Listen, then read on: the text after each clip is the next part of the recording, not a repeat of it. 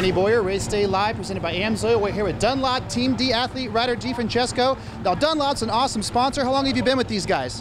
Uh, I've been to them for seven, six years. That's cool. They got a lot of cool people over there. Six-time AMA champion Broc Glover, Marshall Plum, changing tires. They keep your bikes hooked up with fresh tires every race, huh? Yeah, uh, these guys over at Dunlop are great over here. They keep fresh new rubber on my tires and uh, get some hole shots with those things. Well, you're certainly making a name for yourself. You got three Loretta Lynn Amateur National Championships, over 50 overall amateur titles. What are you looking at this year? You just got on the 80. What's your next race coming up? Uh, Daytona Beach is the 12th of March, and uh, let's go there and try to win some championships. And uh, just this year's gonna be great. I feel. Yeah, well, you have a cool thing going for you with Kevin Harvick's management team. They get you to some MMA fights and stuff like that. Who's your favorite MMA fighter?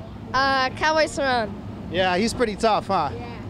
Well, let's talk Instagram a little bit. 96,000 Instagram followers, man. That's got to be pretty cool. How do you keep up with that?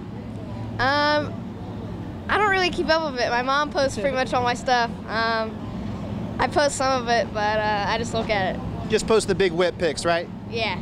Well, here we are, A1. It's pretty awesome. You know, you've been watching Austin Forkner at some of the same amateur nationals that you've been racing at. This is his big day. How do you think Austin Forkner's going to do? Um, I think he's gonna go out there and win it. That's my that's my pick for tonight. So For the 250 class? yeah. What about 450s? Um, Anderson. Right on, man. Well, what, what's next for you? I hear you're getting on a Super Mini. You might be looking at some big races like the Monster Energy Cup coming up. Are you looking forward to getting on a Super Mini?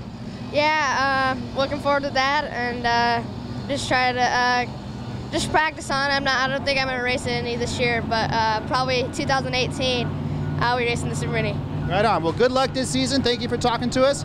Just heard from Ryder Francesco, amateur national phenomenon. We're here at Anaheim 1. This guy's going to be racing this thing in a few years. Keep your eye on him.